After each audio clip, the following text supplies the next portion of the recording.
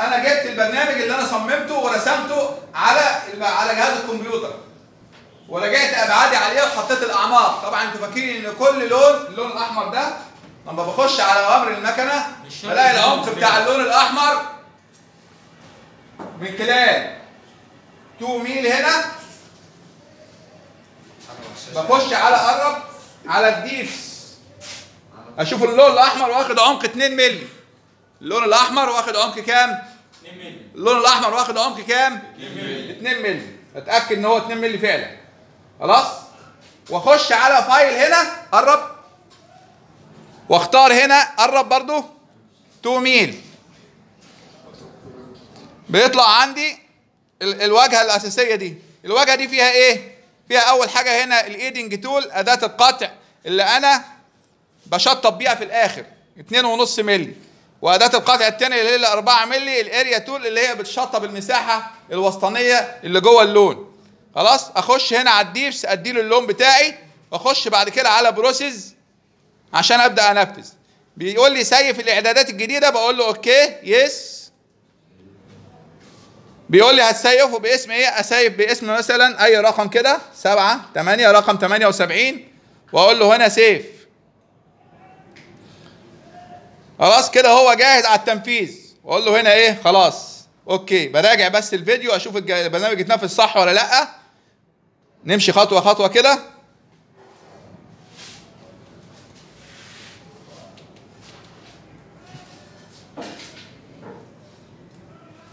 نشوف الفيديو قبل ما المكنة تشغله. بيجي لك كده صورة فيديو لل- للتمرين قبل ما يتنفذ. كده اتاكدت إن التمرين اتنفذ فعلا. خلاص. بعد كده بخش على تنفيذ البرنامج. أما أخش أنفذ على البرنامج بختار أنهي ايقونه الايقونه ديت اللي عليها رسمة المكنة ديت.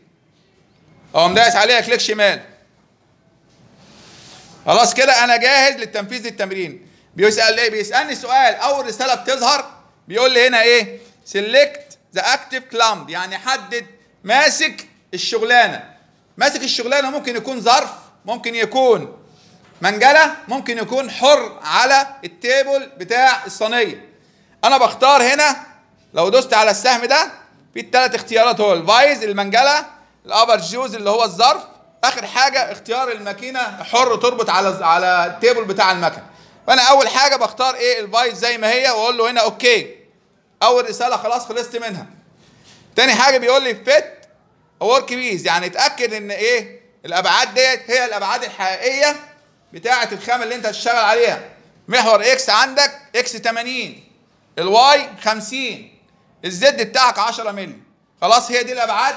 تقول له هنا okay. الخطوة الثالثه ودي مهمة جدا بيقول لك enter the height from the machine table يعني دخل الارتفاع. ولحظه هنا خليك معايا قرب شوية. بيقول لي دخل لي الارتفاع الحتة دي مهمة جدا. كل يبص عليها. بيقول لي قيس لي الارتفاع وسع. اللي هو من وش الخامة؟ كله شايف وش الخامة معايا؟ قيس الارتفاع من وش الخامة لغاية سطح ال table دوت. فبفتح. القدمة كده وأقيس العمق ده عشان ده مطلوب مني أديهوله هنا أهو.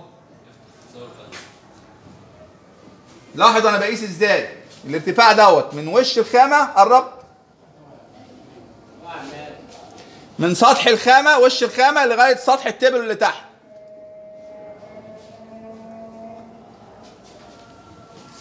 خمسة وأربعين ملي وستة وعشرين من مية. أكتبه هنا. المكان الفاضي ده. خمسة وعش... خمسة وأربعين ملي point ستة وعشرين من مية. وأقول له okay.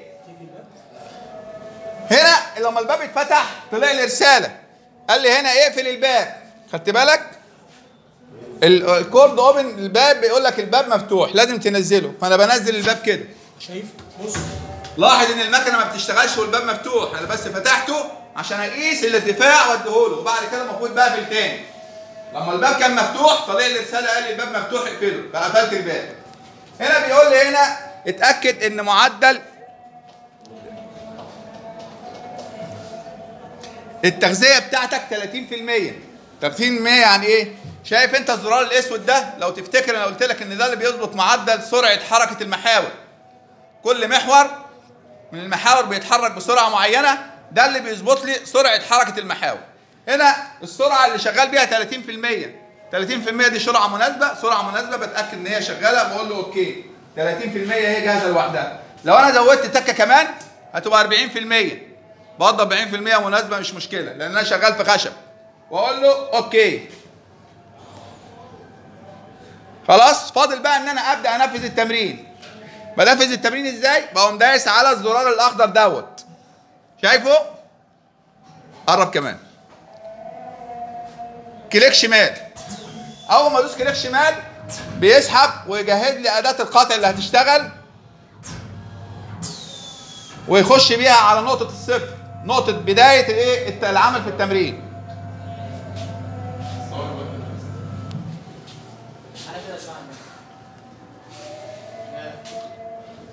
بعد كده بدوس ضغطة كمان على نفس الزرار. هيبدأ ينفذ معايا التمرين. كليك شمال.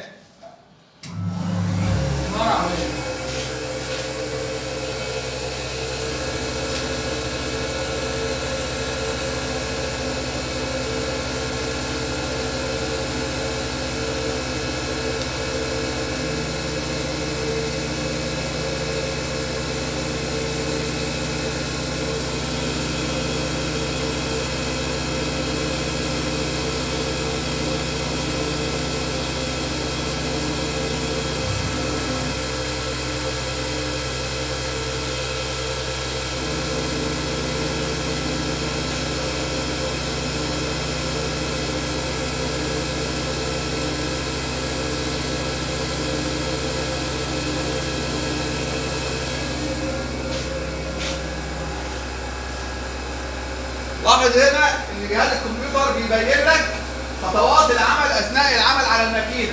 بيبين لك الحد القاطع وصل لمرحلة إيه؟ على إيه؟ على أرض الواقع. ولما بيخلص بيقول لك تمام. كده إحنا نفذنا التمرين وخلصناه. واقول له هنا يس بيقول لي هنا عايز تشتغل تاني؟ أقول له نو no. كده أنا خلصت التمرين. وبكده نكون انتهينا من تنفيذ تمرين عملي على الماكينه